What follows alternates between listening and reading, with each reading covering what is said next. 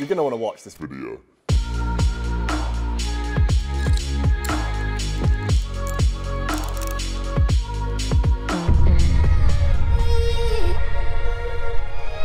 The best irons in the world.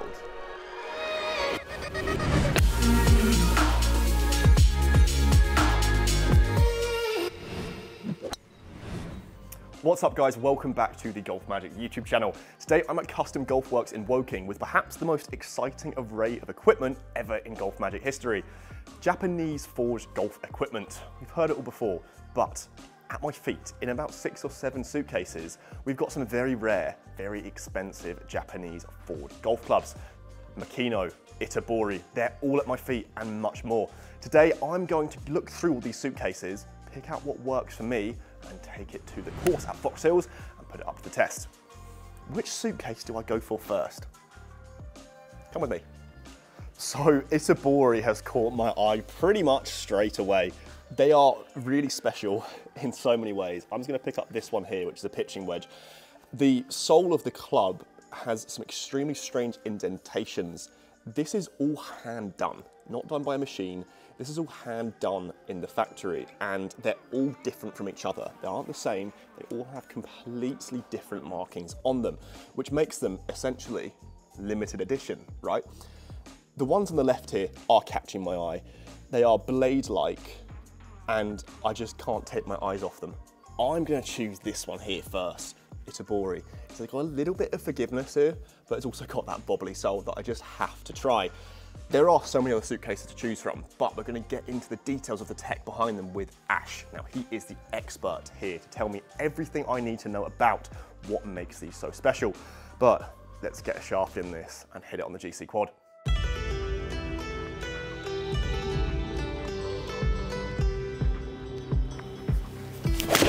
Oh my God.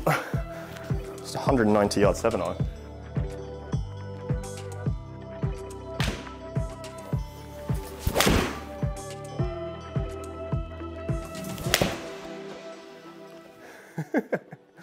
I mean, I've hit them well. I've hit them really well. It took me a while to warm up. That one's a little bit out of the toe. And I showed you before, this one has a little bit more forgiveness than actually what I'm used to with what I'm currently being fitted for. Last week I got fitted for some MB irons and it's not a bad thing, but now I'm getting warmed up. These are actually quite hot off the face once you hit them out the sweet spot. You can see here with the GC Quad at Custom Golf Works that they were going nearly 195 yards. A little bit too far, but the spin rate is also really impressive, holding up at 7,000 RPMs. So with this case, I'm thinking, do I go with these? Luckily enough, I've got seven suitcases to choose from, and Itobori is my personal favorite. There's plenty more to choose from from this brand. As you can see here, we've got wedges and more irons to choose from, and I have got to try this bad boy here. With the etchings on it too, a little bit more of a muscle back, a little bit more my street. I'm hitting it a little bit better today than I thought I would. Let's switch this into this one and see how it goes.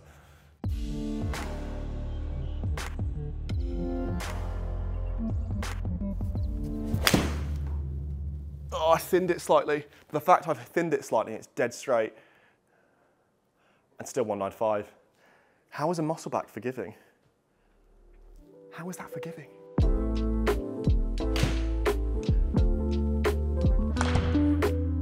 That's just, that's just absurd. That's genuinely absurd. I don't, I don't, well, I don't understand. It's gone 210 yards. this is, this, this is it for me, right? I've had many fittings in, in the last 12 months. I think I've ever had an iron that first of all looks like this, which you can see is a muscle back by design, be so hot off the face and also be quite forgiving.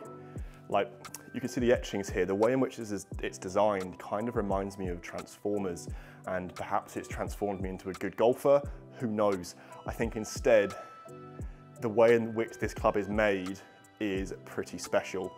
And the price tag is also pretty eye-watering. There's many other brands to choose from though, and we're not just gonna focus on Itobori. We're gonna go talk to Ash right now to explain the entire Japanese Forge range and what could work for you, and if this one could actually work for me.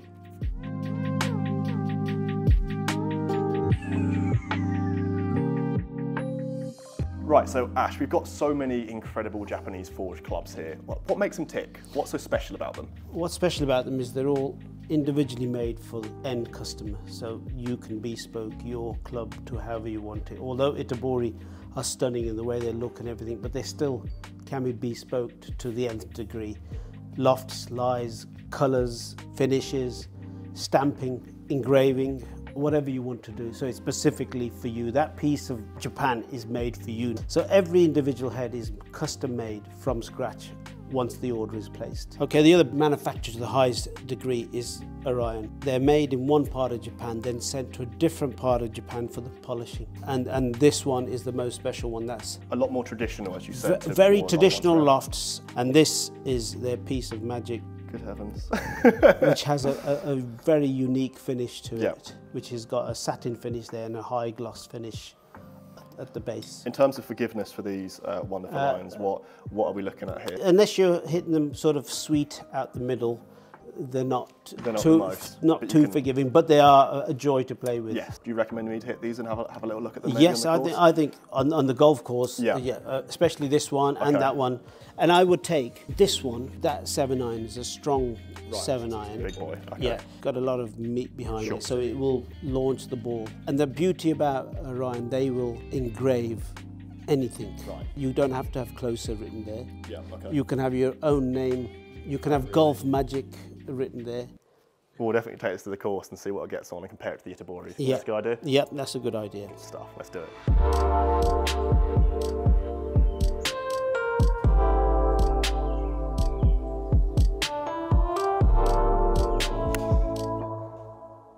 So we are at Fox Hills and I have got four heads to choose from that Ash has recommended me. 195 yards.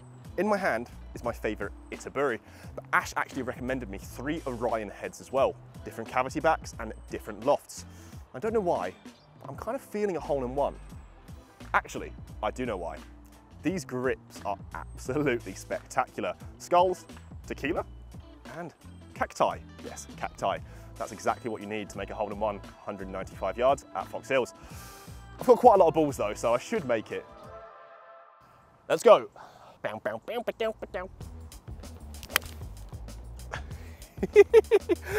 so good, but it's such a bad shot. Okay, I mean, the thing is, they're quite responsive, but they go quite far as well.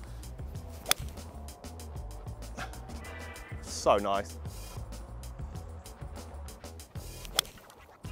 Oh no, I think I've lost a good, good golf ball. no, I haven't. Okay. Did you hear how good that sounded? Uh, it sounded really good. Right. Oh,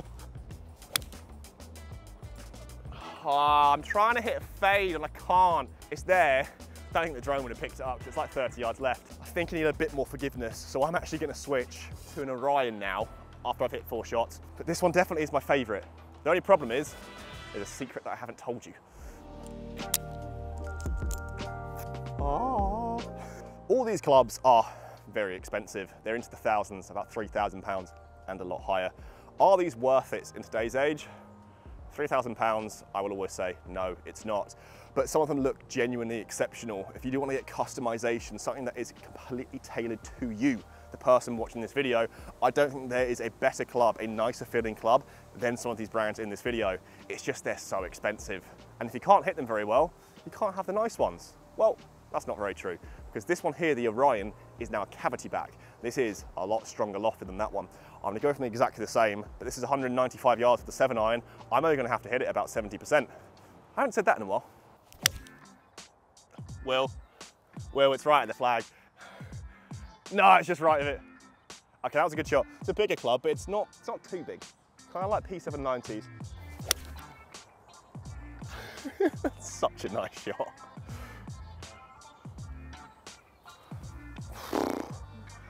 I know, but I thought I was in.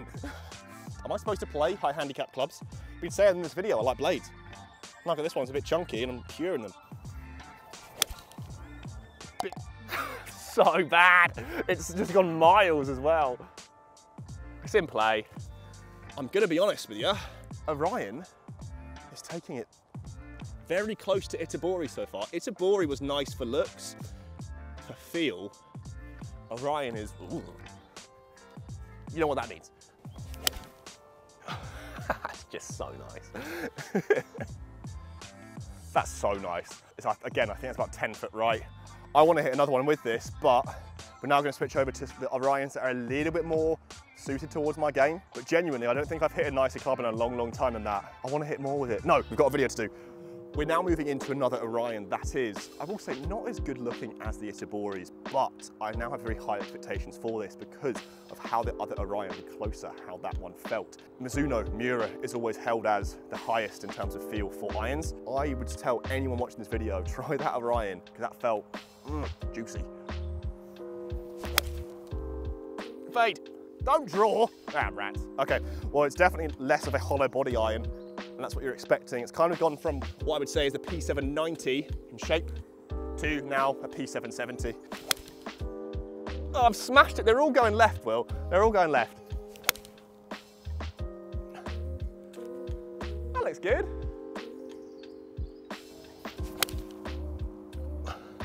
Yeah, it's in the hole.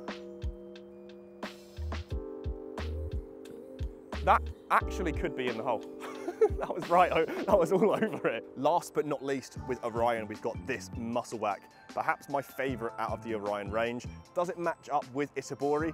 Probably not, but from a purist point of view, also look how sharp that is.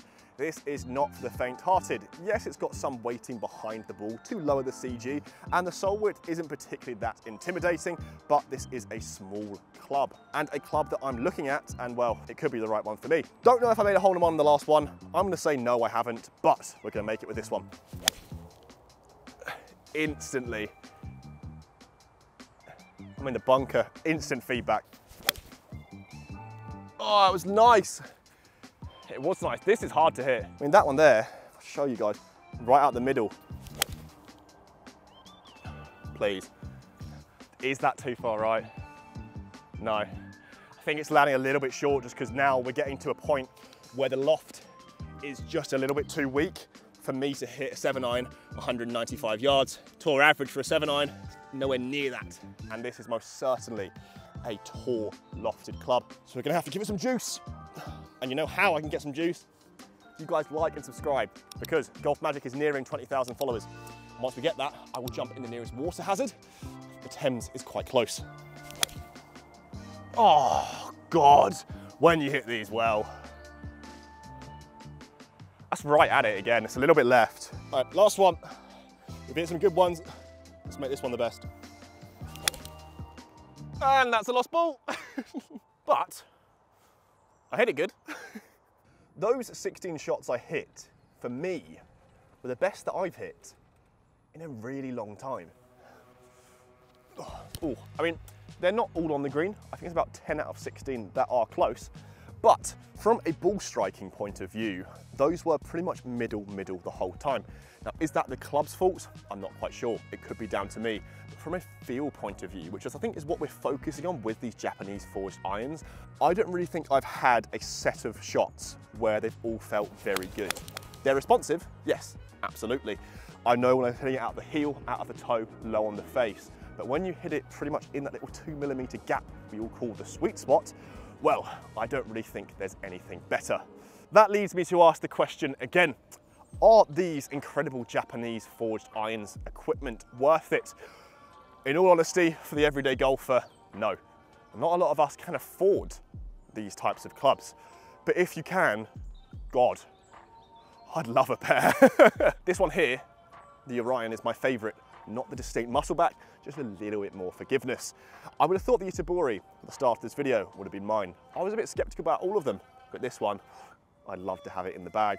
Let me know which is your favorite out of this video and go have a look at which is your favorite Japanese forged iron because there's some really special golf clubs out there. We focus on irons today. There's drivers, three woods, wedges. Leave a like down below if you want me to do anything else because luckily enough, I can access these. Guys, thanks for watching today and thank you very much for Fox Hills, Dragon Golf and also Custom Golf Works for allowing me to use these wonderful clubs and film at Fox Hills itself. Until next time, I'll see you later. Well, green and red was pretty high there. I think you'll see me on uh, LIV Golf next week.